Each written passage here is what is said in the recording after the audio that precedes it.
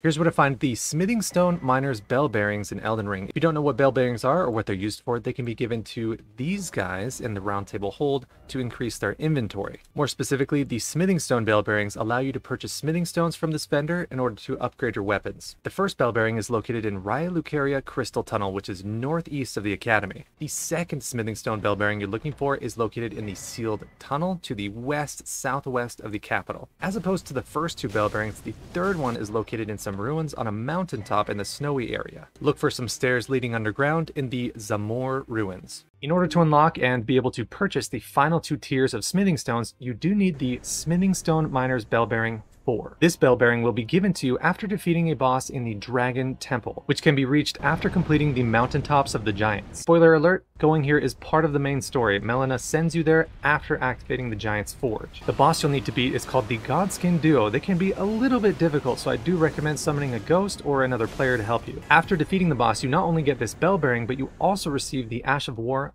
Black Flame Tornado. Here's where to find the first two Somber Stone Miner's Bell Bearings in Elden Ring, which allow you to buy Somber Stones 1, 2, 3, and 4 from these guys at the Round Table Hold. The first Bell Bearing can be found fairly early in the game if you just head on over to the Dragon Burnt Ruins, open the trapped chest, and that will send you to the Sellia Crystal Tunnel, located here on the map. You will need to defeat the boss here to get the Bell Bearing, and he can be pretty tough, so it might take a few tries. The second Bell Bearing is located in the Altus Tunnel on the northern part of the map. Just like before, you do need to defeat the boss to get the bell bearing, but these guys were surprisingly easier than the first one. With these bell bearings, you should be able to upgrade your special weapons to at least plus 4.